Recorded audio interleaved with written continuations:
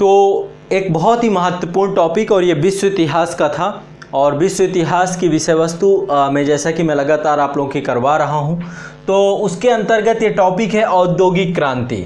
औद्योगिक क्रांति सर्वप्रथम इंग्लैंड में घटी। ये प्रश्न पूछा गया आईएएस का प्रश्न है और इसी से आप पूरा का पूरा टॉपिक एक समझेंगे, है ना? टॉपिक वाइज आप एक एक विषय वस्तु को जानते भी जा रहे हैं नोट्स बनाकर इनको लिखते भी जाइएगा। तो क्या कारण था कि औद्योगिक क्रांति सर्वप्रथम इंग्लैंड में घटी? औद्योगिकरण के दौरान वहाँ के लोगों के जीवन की गुणवत्ता पर चर्चा कीजिए। अब देखिए, इसमें अब ये प्रश्न है आई के एग्ज़ाम में पूछा जाता है, ऐसे ही स्टेट पीसीएस के एग्ज़ाम में ये पूछा गया प्रश्न है। तो अब इस प्रश्न को पहले एक बार समझते हैं। जब भी कोई टॉपिक है, पहले हमें उसे समझना पड़ेगा और समझने के बाद हम उस पर काम करेंगे।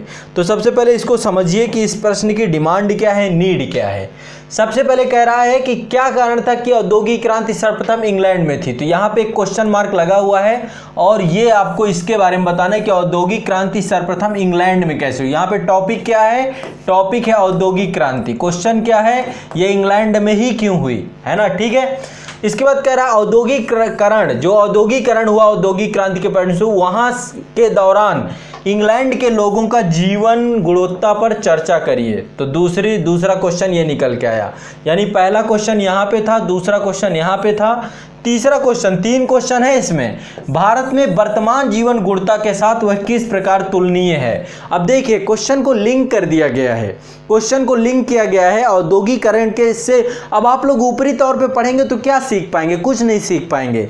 आप देखिए, स्तर क्या है प्रश्न पूछने का? स्तर है कि इसको करंट से भी जोड़ा गया है। भारत के वर्तमान औद्योगिकरण और किस तरीके से औद्योगिकरण के परिणाम स्वरूप शहरीकरण बढ़ रहा है? शहरीकरण से क्या दुष्प्रभाव निकल के आ रहे हैं? किस से ग्रामीण पलायन हो रहा है, किस तरीके से मलिन बस्तियों का विकास हो रहा है तो कहीं ना कहीं पे भारत में वर्तमान जीवन गुणता के साथ क्या करना है, इसको किस प्रकार से ये तुलनीय है, इस विषय वस्तु पे भी हमें प्रकाश डालना है। तो ये एक बहुत इंपॉर्टेंट टॉपिक है, समझने का प्रयास करते हैं। सबसे पहला क्वेश्चन क्या कारण था कि औद्योगिक क्रांति सर्वप्रथम इंग्लैंड में घटी? ये क्वेश्चन लगातार पूछा जाता है और एक ये बहुत इंपॉर्टेंट टॉपिक के तौर पे आप मेरे से यहाँ पे सीखेंगे, पढ़ेंगे। चलिए तो पहला कारण है, पहला है औद्योगिक क्रांति। देखो, आसान में बहुत बहुत आसान आसान टर्मिनोलॉजी भी आपको सिखाता चलूँगा। पहला है औद्योगिक क्रांति। मैं आसान भाषा में औद्योगिक क्रांति को परिभाषित परिभाषित करूँ तो क्या होगा? औद्योगिक क्रांति क्या है? मेरे मेरे हिसाब से औद्योगिक क्रांति को यदि मैं आसान भाषा में आप लोगों को परिभाषित करूँ तो देखिए इसकी परिभाषा बहुत आसान है। मैं ज़्यादा पाँच शब्दों में आपकी इसकी परिभाषा दे दूँगा।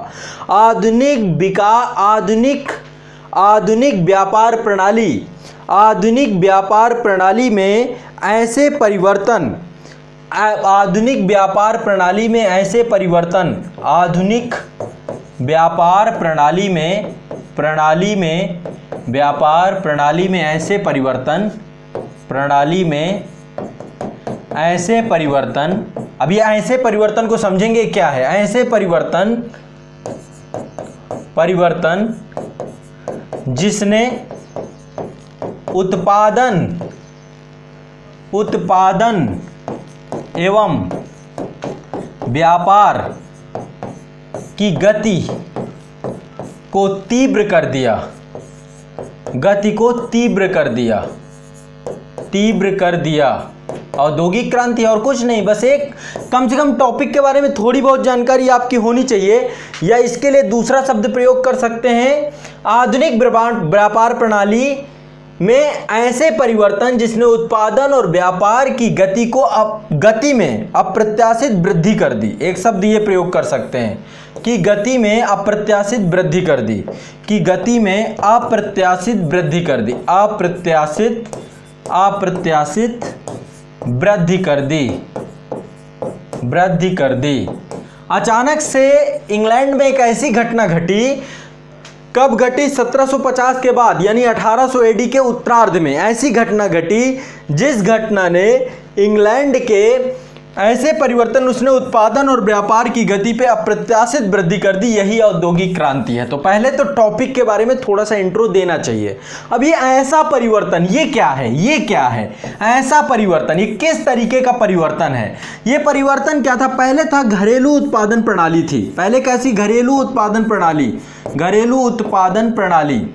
उत्पादन प्रणाली। घरेलू उत्पादन प्रणाली से सीमित उत्पादन सीमित व्यापार हो पाता था, लेकिन कालांतर में इसका स्थान किसने ले लिया? औद्योगिक क्रांति के दौरान इसका स्थान ले लिया कारखाना कारखाना उत्पादन प्रणाली ने, कारखाना उत्पादन उत्पादन प्रणाली ने, प्रणाली बदल गई। और कारखाना उत्पादन प्रणाली जब आई आपकी तो कारखाना उत्पादन प्रणाली ने क्या किया? उत्पादन और व्यापार को गति प्रदान कर दी, अप्रत्याशित वृद्धि कर दी, यही औद्योगिक क्रांति है। तो ये एक नए प्रकार का जो है यहाँ पर, अब एक कारखाना क्या है? मशीनीकरण की बात कर रहे हैं यहाँ पे, मशीनीकरण की। मशीनीकरण बढ़ गया। अब बात ये नहीं है, सिर्फ़ मशीनीकरण बढ़ जाने से औद्योगिक क्रांति हो जाती तो बहुत सारे देश कर लेते। है ना? ज़रूरी नहीं है। जापान के पास तो ना मशीनें थी, ना कुछ था, ना कुछ था। इसके बाद भी औद्योगिक क्रांति हुई वहाँ पर बड़े स्तर की। तो अब क्या है इसको भी समझने का मैं आप लोगों को बहुत आसानी से प्रयास करूँगा कि आप इस विषय वस्तु को भी आसानी से समझें। ठीक है? चलिए। अब इसे भी समझने का प्रयास करिएगा। ये भी बहुत कठिन नहीं मैं देखिए, आपको बहुत ईजी बहुत आसानी से बड़ी विषय वस्तु को समझाता चला जाऊँगा। हो सकता है ये टर्म्स ये क्वेश्चन आपको बड़े लगें, लेकिन मुझे नहीं लगता कि आप यदि इसको अच्छे से समझें, मेरे तरीके से समझें तो शायद आप समझ जाएँ। बहुत ईजी है, बहुत कठिन नहीं है। चलिए, आगे बढ़ते हैं। नेक्स्ट आगे बढ़ते हैं इसमें। हाँ।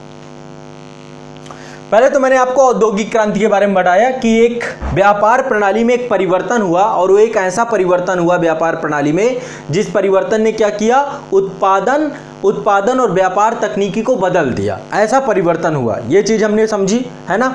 इसके बाद हमने समझा कि वो परिवर्तन क्या था? उसने घरेलू उत्पादन प्रणाली को कारखाना उत्पादन प्रणाली में बदल दिया। अब बात करते हैं आगे की। देखो, औद्योगिकरण के लिए तीन महत्वपूर्ण विषय वस्तु हैं। तीन चीज़ें होनी चाहिए। किसी भी देश में औद्योगिकरण के लिए तीन चीज़ें होनी चाहिए नितान्त तौर पर और कुछ सहायक चीज़ें हैं। सबसे पहली चीज़ें उस देश के पास पूंजी होनी चाहिए। अब इंग्लैंड में ही औद्योगिक क्रांति क्यों हुई? इसको समझने का। इस प्रश्न प्रश्न का उत्तर देने जा रहा हूँ। सबसे पहली चीज़ पूंजी होनी चाहिए। बिना पूंजी का कुछ नहीं होता है। अब चूँकि इंग्लैंड उस समय उस समय औपनिवेशिक साम्राज्यवादी शक्ति के तौर पे था, उसने विश्व के विभिन्न देशों में अपने उपनिवेश बना रखे थे तो व्यापक स्तर का उसने क्या कर रखा था? शोषण कर रखा था और उस शोषण के परिणाम स्वरूप उसने क्या कर रखा था? पूंजी इकट्ठी कर रखी थी। तो उसके पास पर्याप्त पूंजी उपलब्धता थी, क्योंकि शोषण, दास व्यापार बुलियनवाद वाणिज्यवादी नीति, ऐसी विभिन्न पॉलिसी के कारण से इंग्लैंड के पास पर्याप्त पूंजी का का की उपलब्धता थी। तो बुलियनवादी या वाणिज्यवादी पॉलिसी कांड से उसके पास पूंजी की उपलब्धता थी, पहली चीज़। दूसरा, श्रम।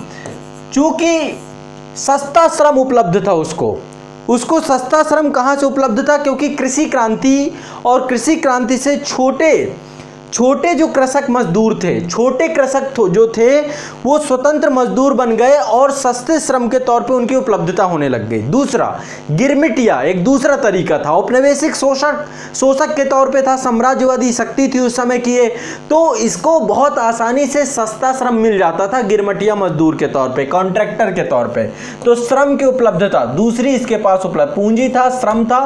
तीसरा, सबसे बड़ी चीज़ कच्चा माल। इसके पास कच्चा माल भी था। कच्चा माल था। कच्चा माल ने भी बहुत बड़ा औद्योगिक क्रांति में के लिए तीन चीज़ें यदि मिल जाए किसी भी देश को तो उस देश में औद्योगिक क्रांति हो सकती है। ये तो तीन महत्वपूर्ण बिंदु थे, लेकिन कुछ सहायक बिंदु, तकनीकी। क्योंकि इस समय तकनीकी का विकास हो रहा था, है ना? क्योंकि इस समय तकनीकी का विकास हो रहा था, और उस यही वो समय था जब यूरोप में पुनर्जागरण काल रिनौंसा का टाइम पीरियड था, प्रबोधन का टाइम पीरियड था तो इस समय बहुत सारे आविष्कार हुए, बहुत सारे रेल इंजन वाष्प इंजन मशीनीकरण तो ऐसे तकनीकी विज्ञान एवं प्रौद्योगिकी के माध्यम से भी इंग्लैंड एक अग्रणी राष्ट्र के तौर पे था तो यहाँ पर तकनीकी एक ब्याह, बृहद स्तर की थी। पहला कारण ये। इसके अलावा और क्या था? इंग्लैंड के पास एक बाज़ार था। इसके पास एक मार्केट थी। जितना भी उत्पादन करता, उतना भी उत्पादन कम होता। तो एक बड़े बाज़ार के तौर पे भी इंग्लैंड के पास एक बड़े स्तर का बाज़ार था, जिसके कारण से भी, इसके कारण से भी यहाँ पर क्या हुआ? औद्योगिक क्रांति को इसने बल प्रदान किया। एक सबसे इंपॉर्टेंट अनुकूल राजनीतिक वातावरण। अनुकूल राजनीतिक राजनीतिक वातावरण। ये बहुत ज़रूरी चीज़ होती है। बिल पावर इसे कह सकते हैं। सरकार सरकार, देखो, यूरोप में बहुत सारे देश थे। उस समय ब्रिटेन का प्रतिस्पर्धी था फ्रांस। फ्रांस भी चाहता तो औद्योगिकरण कर लेता। स्पेन और पुर्तगाल भी चाहते औद्योगिकरण कर लेते। लेकिन फ्रांस में राजनीतिक और सरकारी नियंत्रण था। उस सरकारी नियंत्रण ने वहाँ पे किसी भी तरीके की आर्थिक गतिविधि को प्रतिबंध सा लगा रखा था। तो अनुकूल राजनीतिक नियंत्रण, ये भी एक बहुत बड़ा मुद्दा है। तो आप समझ सकते हैं किसी देश के पास पूंजी की उपलब्धता, श्रम की उपलब्धता, कच्चे माल की उपलब्धता, इसके अलावा तकनीकी बाज़ार और अनुकूल राजनीतिक नियंत्रण और वातावरण, इन सभी के समन्वय के परिणाम स्वरूप इंग्लैंड में ये सारी चीज़ें एक साथ मिल गई। इंग्लैंड में ये सारी चीज़ें एक साथ एक समयावधि में मिल गई। इस कारण से 18वीं शताब्दी के उत्तरार्ध में 18वीं शताब्दी के उत्तरार्ध में इंग्लैंड में क्या हो गई? औद्योगिक क्रांति हो गई तो ये समझ में आ गया? क्यों औद्योगिक क्रांति हुई इंग्लैंड में? सबसे पहले इंग्लैंड में औद्योगिक क्रांति क्यों हुई?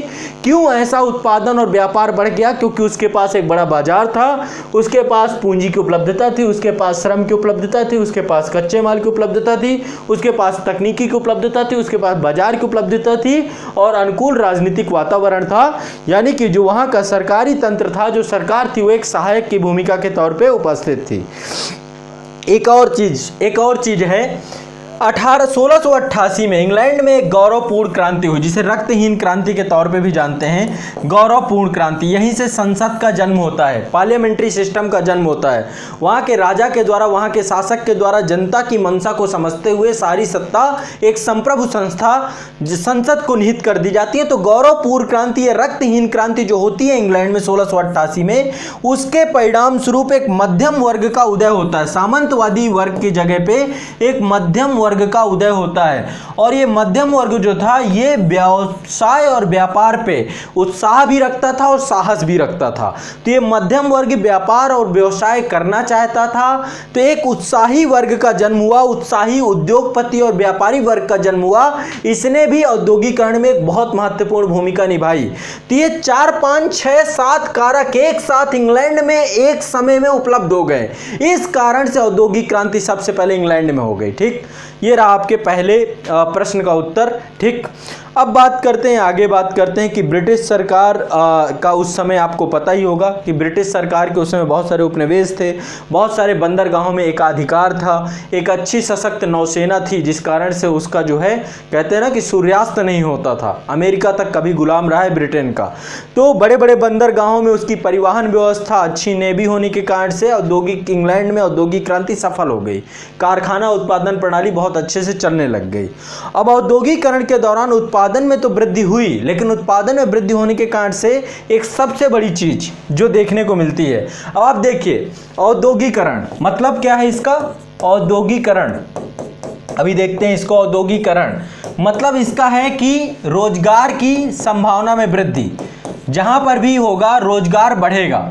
यदि रोज़गार बढ़ेगा तो रोज़गार के लिए लोग यहाँ पर आएँगे, यानी कि लोग एक जैसे ही औद्योगिकरण होगा, औद्योगिक गतिविधियाँ होंगी प्राइमरी सेक्टर की जगह द्वितीय क्षेत्र ज़्यादा एक्टिव हो जाएगा तो ये ये क्या होगा? एक शहरीकरण का जन्म होगा। शहरीकरण का जन्म होगा। शहरीकरण का जन्म होगा। शहरीकरण का मतलब क्या है? यहाँ की जो सुख सुविधाएँ हैं, वो औद्योगिक औद्योगिक ढांचे को बल प्रदान करने वाला होगा। औद्योगिक ढांचे को बल प्रदान करने वाला एक इंफ्रास्ट्रक्चर बनाया जाएगा जो शहरीकरण को जन्म देगा।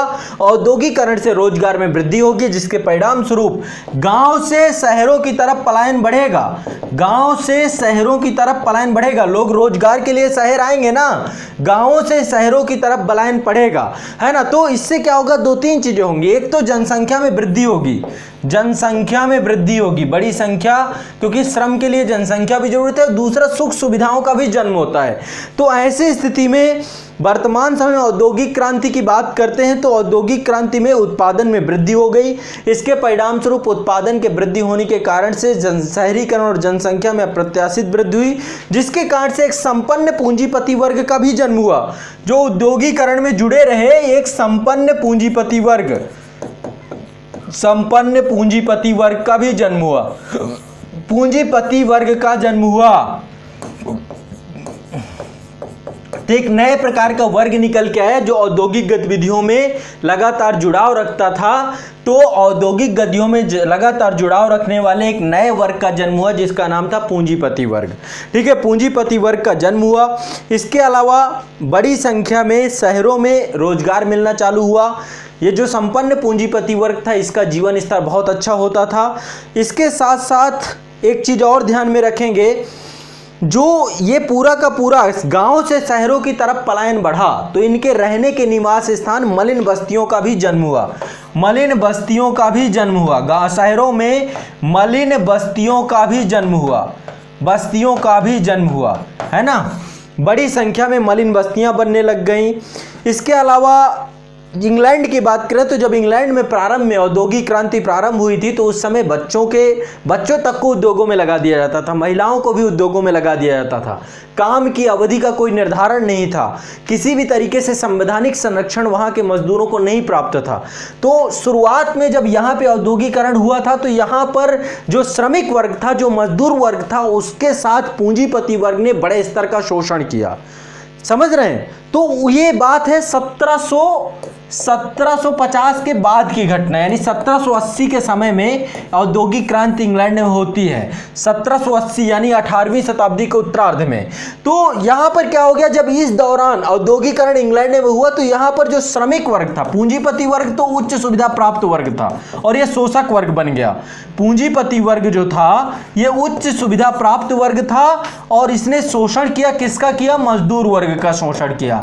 तभी आपने देखा ना, रसिया में एक क्रांति होती है, बोल्सेविक क्रांति, और आगे चल के वही मार्क्सवादी कम्युनिस्ट विचारधारा से प्रेरित होती है, जिसमें साम्यवादी विचारधारा को प्रश्रय दिया जाता है, जिसमें श्रमिक क्रांति या मजदूर क्रांति को भी, के तौर पर भी जानते हैं। तो पूंजीपति वर्ग ने एक शोषक का काम किया, और इसने श्रमिक वर्ग या निम्न आय वर्ग के लोगों का इसने क्या किया, शोषण करना प्रारंभ कर दिया, इसमें स्त्री, बच्चे और इन सब का भी शोषण होता था। अब इसको कंपेयर करते हैं वर्तमान भारत से।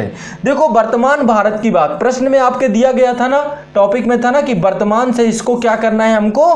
देखो, अब देखो, एक बार चलो मैं प्रश्न में चलता हूँ, प्रश्न भी आप लोगों को इसके साथ साथ समझते जाएँ कि किस किस चीज़ का उत्तर आपको मिलता चला गया। ठीक है? देखिए, अब बहुत इजी है बच्चों, बहुत इजी है। चीज़ें इतनी कठिन नहीं है। यदि आपने एक बार पढ़ रखा है और चीज़ों को लिंक कर रखा है तो बहुत आसानी से आप जोड़ते चले जाएँगे इनको। चलिए, आगे बढ़ते हैं। अब यहाँ पर जो प्रश्न है, प्रश्न की तरफ़ मैं आगे बढ़ता हूँ। अब यहाँ पे देखिए किसका किसका आंसर हमने दे दिया। ये रहा आपका प्रश्न। पहला था, क्या कारण था औद्योगिक क्रांति सर्वप्रथम इंग्लैंड में घटी? इसका उत्तर दे दिया गया, क्या कारण था आप समझ गए? दूसरा क्वेश्चन है, औद्योगिकरण के दौरान वहाँ के लोगों के जीवन गुणता पर चर्चा करिए। मैंने ये भी बता दिया कि जब इंग्लैंड में औद्योगिकरण हुआ, उस समय एक पूंजीपति वर्ग का जन्म हुआ, जो कि शोषक चरित्र रखता था। उसने उस समय के श्रमिक वर्ग को दबाया, उनको जो है पूरी तरीके से शोषित कर दिया। स्त्री, बच्चों और किसी भी तरीके से अधिकारों की कोई सुरक्षा नहीं हुई। तो बड़े स्तर पर श्रम प्राप्त करने के लिए जो श्रमिक वर्ग था, उसके अधिकारों को लेकर किसी भी तरीके की कोई बात नहीं की गई। अब अगला क्वेश्चन है, भारत में वर्तमान जीवन कुर्ता के साथ वो किस प्रकार तुलनीय है? तो एक तुलना करनी है वर्तमान भारत से कि वर्तमान भारत में किस तरीके का स्वरूप है। तो देखिए, वर्तमान भारत में भी औद्योगिकरण हो रहा है है ना? औद्योगिकरण के माद, के कारण से एक शहरी केंद्र बन रहे हैं शहर केंद्र बन के निकल रहे हैं। शहर क्या बन रहे हैं? केंद्र बिंदु बन रहे हैं। अब चूँकि शहर केंद्र बिंदु बन रहे हैं तो शहरों के केंद्र बिंदु बनने के कारण से शहरों की तरफ़ क्या हो रहा है? पलायन हो रहा है। शहरों की तरफ़ क्या हो रहा है? पलायन हो रहा है। बड़े स्तर पे, व्यापक स्तर पे शहरों की तरफ़ क्या हो रहा है? पलायन हो रहा है। और जब ये पलायन हो रहा है तो कहाँ से पलायन हो रहा है? गाँव से पलायन हो रहा है। अभी देख रहे थे ना कोविड नाइन्टीन के कारण से कितना श्रमिक परेशान हुआ। पूंजीवती, जो पूंजीपति शोषक चरित्र था ना, उसने दिखा दिया अपना चेहरा। किसी पूंजीपति ने किसी भी तरीके से श्रमिकों को लेकर सहायता के मामले में कोई योगदान नहीं किया और उन्हें जॉब से निकाल दिया गया। उनको दिहाड़ी मजदूर के तौर पे उनको अपने किस्मत के लिए छोड़ दिया गया। कोई सामने नहीं आया और बेचारे वो एक एक हज़ार किलोमीटर की यात्रा करके अपने गाँव पहुँचे। चाहते तो ये पूंजीपति जहाँ ये श्रमिक काम करते थे, जिन फैक्ट्रियों में, जिन कंपनियों में, चाहते तो रोक सकते थे, है ना? ताकि स्थिति सामान्य होते ही फिर से काम करने में प्रारंभ हो जाते हैं। लेकिन ऐसा नहीं किया गया। तो भारत में भी औद्योगिकरण है, जिसके कारण से शहरी शहरीकरण बढ़ रहा है। शहरीकरण के कारण से क्या हो रहा है? गाँव से शहरों की ओर पलायन बढ़ रहा है, क्योंकि शहरों में क्या है? रोज़गार है। लोग रोज़गार के लिए अपने परिवार के साथ शहरों की ओर पलायन हो रहे हैं। अब चूँकि शहरों की तरफ़ पलायन हो रहे हैं तो शहरों में क्या हो रहा है? मलिन बस्तियों का विकास हो रहा है। मलिन बस्तियाँ, शायद आप लोगों ने देखी है नहीं देखी है? शहरों में कुछ ऐसे केंद्र बिंदु होते हैं जहाँ पर समाज का सबसे निम्न तबका रहता है। ये रिक्शे वाले, ये जो दिहाड़ी मजदूर, ये झुग्गियाँ बना करके, किसी भी तरीके से कच्चे मकान बना करके या फिर ईटों को किसी तरीके से बना करके एक ऐसे वातावरण में रहते हैं जहाँ की वायु बहुत अस्वच्छ होती है, जहाँ पेयजल की कोई सुविधा नहीं होती, जहाँ विद्युत की कोई सुविधा नहीं होती, जहाँ का जीवन स्तर निम्न स्तर का होता है। बहुत बुरी कंडीशन होती है और जितने भी भारत के महानगर हैं, चाहे दिल्ली की बात करें, चाहे दिल्ली में मुखर्जी नगर है ना? मुखर्जी नगर के जस्ट बगल में गोपालपुर है। गोपालपुर, आप कभी देखें, जाए वहाँ पे। यदि मुखर्जी नगर से कोई बच्चा होगा तो वो जानता होगा। गोपालपुर पूरी तरीके से मलिन बस्ती है। वहाँ समाज का सबसे निम्न तबका रहता है। ऐसी कितनी मलिन बस्तियाँ हैं जो कि आसपास जाकर विकसित हो जाती हैं। तो इन मलिन बस्तियों का विकास आज ये जोड़ सकते हैं। औद्योगिक क्रांति से साम्यता रखती है। औद्योगिक क्रांति में भी यही हुआ था। इंग्लैंड में भी यही हुआ था कि बड़े स्तर पर जो श्रमिकों की दशा थी, बहुत दयनीय हो गई थी। क्योंकि यहाँ पे एक पूंजीपति वर्ग का जन्म हुआ और भारत में भी जो वर्तमान औद्योगिकरण है, उससे भी क्या हुआ? पूंजीपतियों ने एक श्रमिक वर्ग को विकसित किया और मलिन बस्तियों में रहने के लिए मजबूर कर दिया। यानी कि ग्रामीण पलायन जारी रहा। अब एक चीज़ और समझते हैं। एक चीज़ और है। अगला पॉइंट है लेकिन कुछ चीज़ों से औद्योगिक क्रांति से साम्यता नहीं रखते। क्यों? क्योंकि वर्तमान में भारत में संविधान है और संविधान और बहुत सारे कानून हैं जो कि इनके अधिकारों की रक्षा करते हैं। जैसे बच्चा और ब, जो बच्चे हैं बाल मजदूरी प्रतिषेध है। औद्योगिक क्रांति के दौरान बाल मजदूरी होती थी बड़े स्तर की। लेकिन भारत में ये अब क्या हो गया? संविधान ने क्या कर दिया इसे? बाल मजदूरी इलीगल है बंधुआ मजदूरी इलीगल है। शोषण के विरुद्ध आपको अधिकार दिया गया है। दास प्रथा मानव दुर्व्यापार, ऐसा कुछ भी नहीं होता है। इंग्लैंड में जब औद्योगिक क्रांति हुई थी तो दास प्रथा भी प्रचलन में था और मानव दुर्व्यापार भी होता था मानव को बेचा भी जाता था। तो बंधुआ मजदूरी बंधुआ मजदूरी, है ना? बाल मजदूर, बंधुआ मजदूरी। इसके बाद और क्या है आपका? महिलाओं के अधिकार, महिलाओं के अधिकार औद्योगिक क्रांति के दौरान संरक्षित नहीं थे, लेकिन भारतीय संविधान ने लिंग के आधार पे सबको बराबर समझा है। महिला, पुरुष में किसी भी तरीके से कोई विभेद नहीं है। समान कार्य के लिए समान वेतन की व्यवस्था है। समान कार्य के लिए समान वेतन की व्यवस्था है। तो बहुत सारे मामलों में इंग्लैंड में जब औद्योगिक क्रांति हुई थी तो वहाँ पर बहुत सारे अधिकार नहीं प्राप्त हुए थे, लेकिन वर्तमान भारत में बहुत सारे अधिकार भारतीय श्रमिकों को प्राप्त हैं। है ना? तो इनके लिए बहुत सारे कानून बनाए गए हैं। ज़बरदस्ती बंधुआ मजदूरी नहीं कराई जा सकती है। एक कार्य करने की अवधि निर्धारित कर दी गई कितने घंटे काम होगा, काम के बीच में कितना, इसके अलावा जो महिलाएँ उनको प्रसूति के समय पे उनके लिए कितना अवकाश रहेगा, किस तरीके से तो ये पूरे नियम और मानकों के तहत वर्तमान में भारत में पूरे श्रम कानून है लेबर लॉज है, उन्हीं के तहत पूरा का पूरा कार्य संपादित किया जा रहा है। जबकि इंग्लैंड में जब औद्योगिक क्रांति हुई थी तो ऐसी व्यवस्था नहीं थी। समझ रहे हैं? तो ये रहा आपके प्रश्न के अगले बिंदु का उत्तर। ठीक, सकारात्मक भी हैं और नकारात्मक भी हैं। निश्चित तौर पे आप शायद इस प्रश्न को समझ गए हों। हाँ बच्चों, आर्टिकल 17 जो है अनटचेबिलिटी ये भी जुड़ जाएगा। आर्टिकल 15 है ना? आर्टिकल 15 आपका जुड़ जाएगा, समता का अधिकार जुड़ जाएगा। आर्टिकल 14 जुड़ जाएगा। इसके बाद आपके अन्य बहुत सारे आर्टिकल 23, 24 ये सारे आर्टिकल जुड़ जाएँगे इससे है ना? और इसके अलावा बहुत सारे श्रमिक कानून बनाए गए आर्टिकल 35 संसद के द्वारा बनाए गए बहुत सारे कानून ये सारे। तो निश्चित तौर पे आप समझ गए होंगे कि औद्योगिक क्रांति इंग्लैंड में क्यों हुई थी है ना? और औद्योगिक क्रांति के परिणाम स्वरूप किस तरीके से क्या क्या जो प्रश्न के जो जो पहलू थे तो मैंने उन्हीं बिंदुओं पर विचार किया। अब आप सभी को इसका उत्तर पुनः लिखना है। आशा करता हूँ कि इसका उत्तर ज़रूर लिखेंगे। आप इसके उत्तर को पुनः लिखेंगे। आप इसके उत्तर को पुनः लिखेंगे। फिर से आप ये उत्तर को लिखेंगे, जो ये प्रश्न था, है ना? चलिए, ये पॉइंट आपने समझा और इस पॉइंट को लगातार इसी तरीके से कंटिन्यूस रखेंगे और लगातार करते रहेंगे। ठीक है? चलिए, अब आप मुझे बताइए